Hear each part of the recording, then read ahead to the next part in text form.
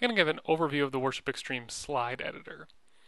Notice at the top you see the music note for mu music for excuse me for song lyrics, uh, but the slide editor is different, and that allows you to create slides with images, text, poll data, um, and a lot of, a lot more options in there than just song lyrics. So I'm going to click the slides icon at the top, which is the one right next to the song lyrics, and click Create New on the right. This is going to pull up a new uh, slide presentation, and I'm going to choose. There's in the for, for the first slide, it's going to ask me to pick a template.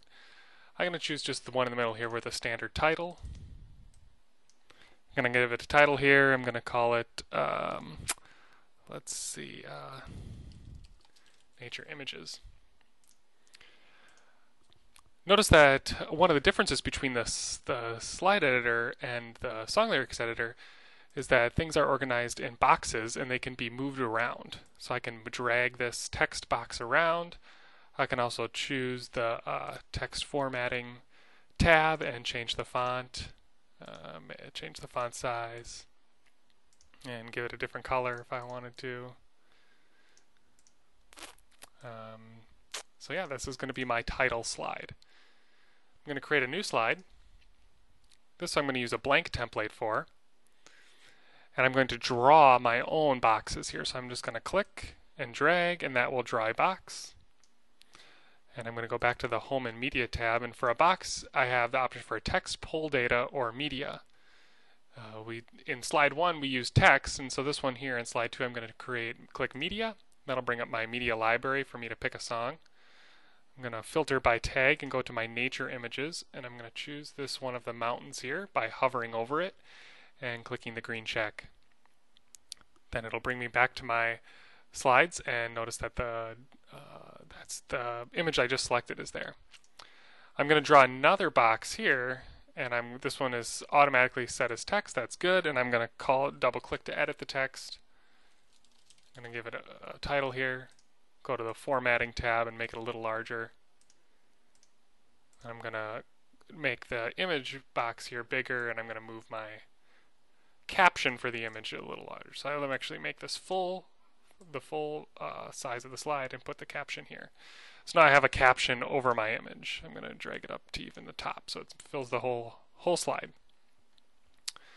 Um, now I would like to do something similar for a next slide. So I have two options. I can click this duplicate duplicate slide, which will make an exact copy of the slide that I can edit. I'm going to go ahead and delete that. I can also right click and save this slide as a template and not only can I reuse it in this presentation but I could use it in others as well and I'm going to call this uh, image with caption and then when I click new at the top to create a new slide my image with caption is now an option here. I'm going to click that and now you'll see my third slide is uh, just the same as number two. I'm going to double click this image here that, that's in the background, double click uh, to edit it Again, I'm going to choose my nature photos, and this time I'm going to choose the waterfall. And I'm going to move my caption up to the top here. Go to the formatting, make it vertical align top for this text box, and change the color. Double click and change the text to waterfall.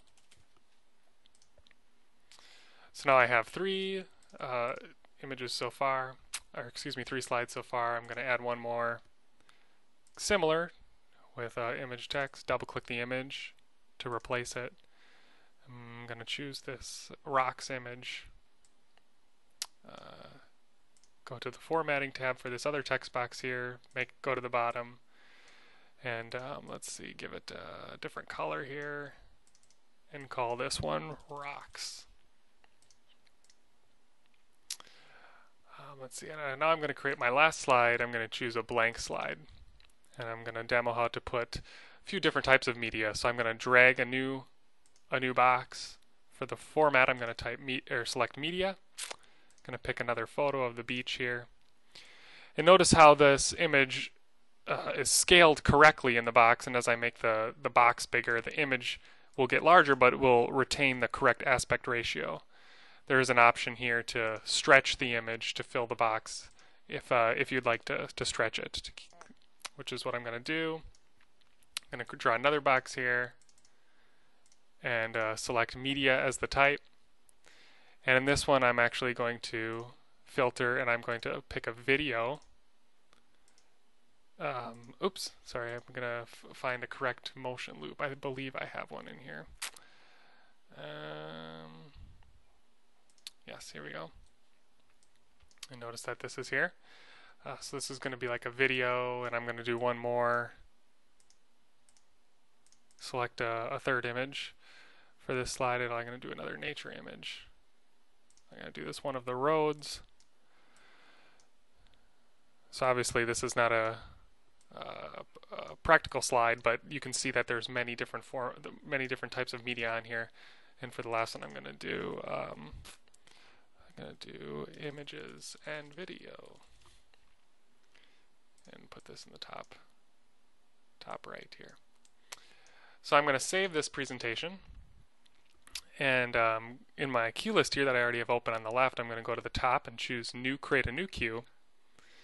And for the foreground type, I'm going to choose Slides and pick this uh, uh, sample one I just created. And when I fire that cue by clicking it on the left, you'll notice my slides load up here. And I can go through them. In my preview on the bottom right here, or excuse me, bottom left, you'll see as the slides as they come up. And when I go to my last slide, you'll notice that I have uh, text, images, and video.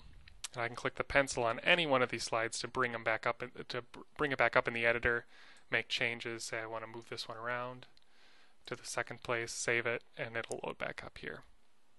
That's been an overview of how to use the slide editor in Worship Extreme.